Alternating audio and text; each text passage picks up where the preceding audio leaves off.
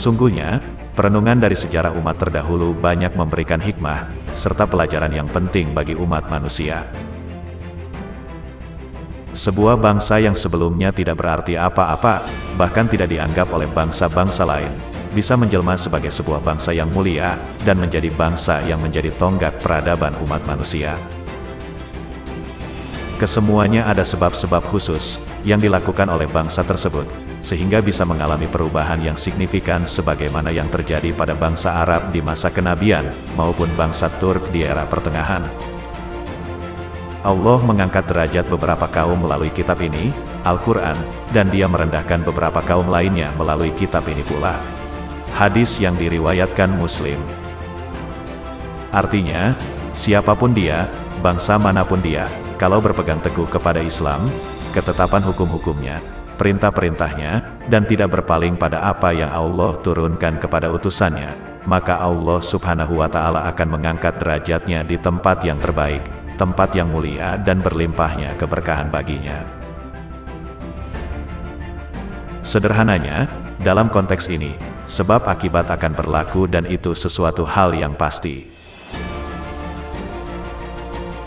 Ketika berpegang teguh pada syariat Allah, maka siapa pun dia, bangsa apa pun dia, akan diangkat derajatnya, begitupun sebaliknya. Ketika mencampakkan syariat Allah, siapa pun dia, bangsa apa pun dia, maka akan dihinakannya baik di dunia dan akhirat. Dan ketika Allah sudah mengangkat derajat suatu kaum atau bangsa, maka tidak akan ada yang bisa menenggelamkannya. Sebaliknya, ketika Allah sudah menghinakan suatu kaum atau bangsa, maka tidak ada yang akan bisa mengangkat derajatnya. Nah, dalam edisi kali ini akan kita bahas, apa yang terjadi pada bangsa Turki, ketika mereka menjadi bangsa yang memberikan segala potensinya untuk tetap berjalan dalam syariat Allah, baik secara personal, bermasyarakat, maupun dalam menjalankan roda pemerintahannya. Oleh karena bangsa Turk yaitu orang-orang Utsmani berpegang teguh kepada syariat Allah, dalam segala urusan mereka, dan mereka juga berjalan dengan fase-fase yang alami dalam kehidupan bernegara, maka manifestasi dari hukum Allah itu demikian tampak jelas mewarnai peradaban umat manusia.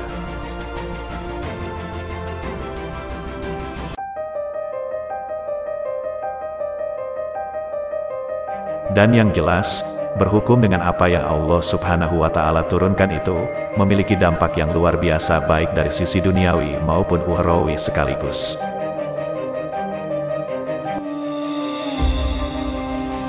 Dampak pertama, kekuasaan dan keteguhan. Kita dapatkan orang-orang Utsmani sejak pemimpinnya yang pertama Utsman, hingga Muhammad Al-Fatih dan orang-orang setelahnya selalu berusaha komitmen untuk menegakkan syiar-syiar agama Allah atas diri mereka sendiri dan atas keluarga mereka. Mereka ikhlas untuk berhukum kepada syariat Allah, maka Allah menguatkan mereka dan mengokohkan kondisi mereka dan menjadikan mereka berkuasa di muka bumi. Orang Utsmani telah menegakkan syariat Allah di atas bumi di mana mereka berkuasa. Maka Allah mengokohkan dan menguatkan penguasa-penguasanya. Ini merupakan akibat yang selalu berlaku dan tidak akan pernah berubah di berbagai bangsa dan umat yang berusaha untuk menegakkan agama Allah. Allah telah mengatakan pada umat ini dengan menjanjikan pada mereka, dengan janji yang telah dijanjikan kepada orang-orang beriman sebelum mereka. Dan Allah telah berjanji kepada orang-orang yang beriman di antara kamu dan mengerjakan amal-amal yang soleh, bahwa dia sungguh-sungguh akan menjadikan mereka berkuasa di muka bumi, sebagaimana dia telah menjadikan orang-orang yang sebelum mereka berkuasa. Surat An-Nur ayat 55 Orang-orang Utsmani telah berhasil merealisasikan keimanan mereka dengan cara berhukum pada syariat Allah. Maka datanglah akibat atau buah dari apa yang telah mereka lakukan, dan dampaknya bisa mereka rasakan. Dan sesungguhnya, dia akan meneguhkan bagi mereka agama yang telah diridoinya untuk mereka. Maka tatkala mereka berhasil berhukum pada agama Allah, mereka menikmati keteguhan dalam agama mereka.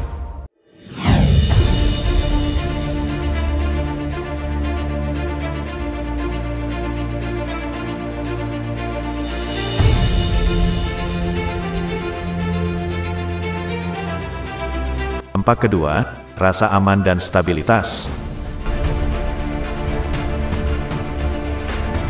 Negeri-negeri di Asia Kecil saat itu berada dalam ketidakstabilan. Di dalamnya banyak muncul pertarungan antara negeri-negeri kecil tersebut.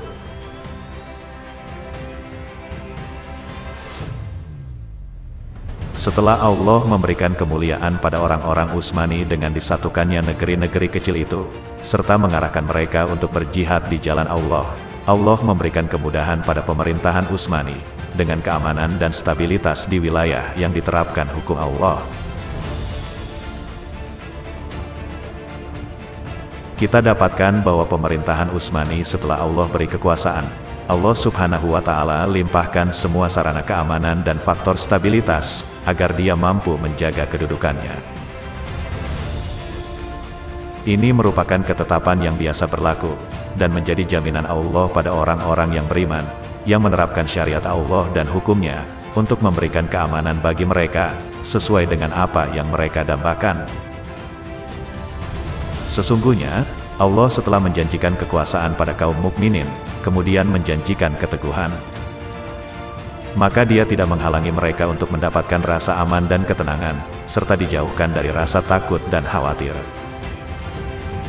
Dengan demikian, ketika orang-orang Utsmani tatkala mereka bisa secara ikhlas tanpa syarat untuk tunduk pada hukum-hukum Allah, maka Allah memberikan ketenangan dalam jiwa mereka, baik dalam skala personal, bangsa maupun skala bernegara.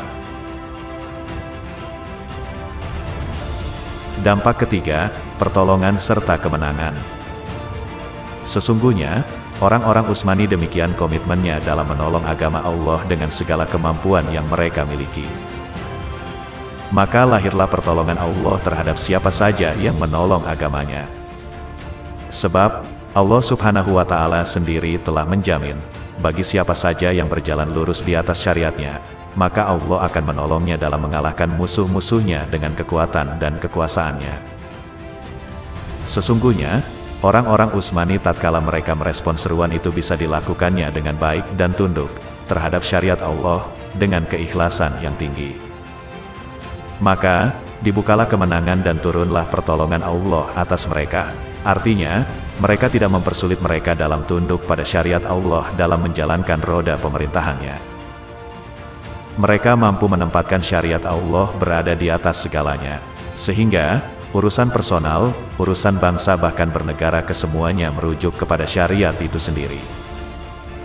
Mereka tidak ada tawar-menawar, ketika sudah terkait syariat, bahkan, meskipun bertentangan dengan kepentingan pribadi mereka sendiri. Sehingga, berbagai kemenangan dapat diraih, ketika menghadapi musuh-musuh Utsmani yang terus berupaya menjegalnya, hingga mampu bertahan selama berabad-abad. Dampak keempat, berhasil meraih kemuliaan. Sesungguhnya, kemuliaan dan keagungan orang-orang Utsmani yang ditulis di dalam buku-buku sejarah, semuanya kembali pada sikap mereka sendiri yang komitmen pada ketaatan pada syariat Allah. Mereka sangat bangga berpedoman pada kitab Allah dan sunnah nabinya, yang dengan komitmen tersebut telah terbukti menjadikan umat ini menjadi mulia, yang namanya disebut di mana-mana. Artinya, Orang-orang Utsmani berhasil memperoleh kemuliaan tersebut, karena mereka berpegang teguh pada hukum-hukum Islam. Tentu saja hal ini sangat sesuai dengan firman Allah subhanahu wa ta'ala yang tertuang dalam surat Al-Anbiya ayat 10. Sesungguhnya telah kami turunkan kepadamu sebuah kitab yang di dalamnya terdapat sebab-sebab kemuliaan bagimu. Maka apakah kamu tiada memahaminya? Hal ini juga sangat sesuai dengan janji Allah yang lain. Barang siapa yang menghendaki kemuliaan, maka bagi Allah lah kemuliaan itu semuanya. Al-Quran Surat Fatir ayat 10 Sederhananya, barang siapa yang menginginkan kemuliaan, maka hendaknya dia merasa bangga ketika melakukan ketaatan kepada Allah yang Maha Kuasa. Kita juga diperlihatkan tentang perjalanan kesejarahan para Sultan Utsmani seperti Sultan Utsman pertama, Sultan Murad dan Muhammad Al-Fatih serta lainnya yang menggambarkan pada kita, bahwa mereka semua sangat bangga dengan Islam, rasa cinta mereka kepada Al-Quran begitu luar biasa, bukan sekedar ucapannya dari dibuktikan secara nyata mewarnai kehidupannya, dan mereka juga luar biasa dalam kesiapan syahid sewaktu-waktu ketika mereka berjuang di jalan Allah. Hingga buah itu semua adalah, mereka hidup dalam kehidupan yang penuh keberkahan, dan tidaklah itu semua mereka peroleh, kecuali karena mereka menegakkan agama Allah. Allah berfirman, Jikalau sekiranya penduduk negeri-negeri beriman dan bertakwa, pastilah kami akan melimpahkan kepada mereka berkah dari langit dan bumi. Tetapi mereka mendustakan ayat-ayat kami itu, maka kami siksa mereka disebabkan perbuatannya.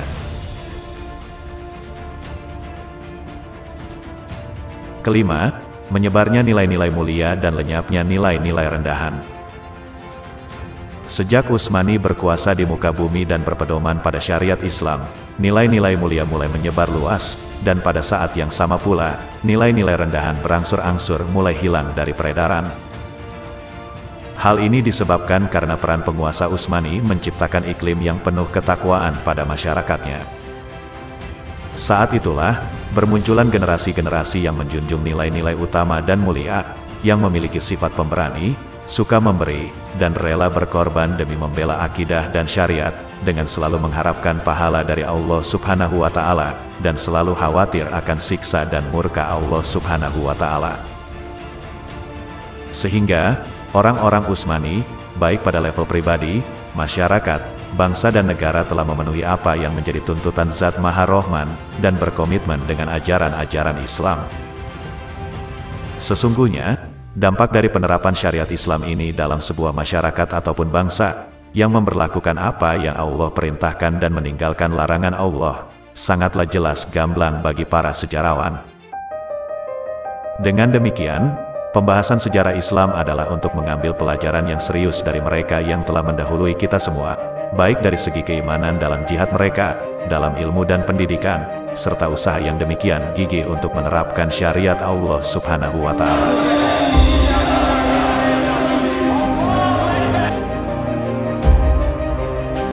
Serta memahami cara mereka untuk mencari sebab-sebab pengokohan mereka, tentang perlunya langkah-langkah gradual dan fase-fase yang sistematis.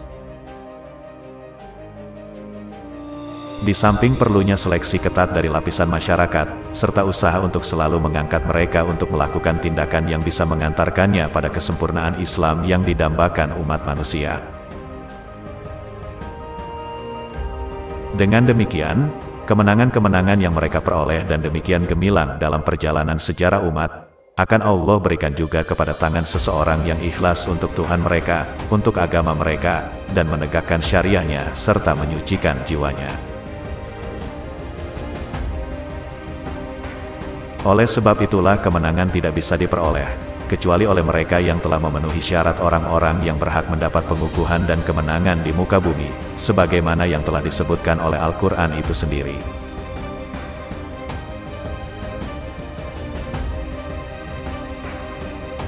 Allah berfirman, Jikalau sekiranya penduduk negeri-negeri beriman dan bertakwa, pastilah kami akan melimpahkan kepada mereka berkah dari langit dan bumi, tetapi mereka mendustakan ayat-ayat kami itu, maka kami siksa mereka disebabkan perbuatannya.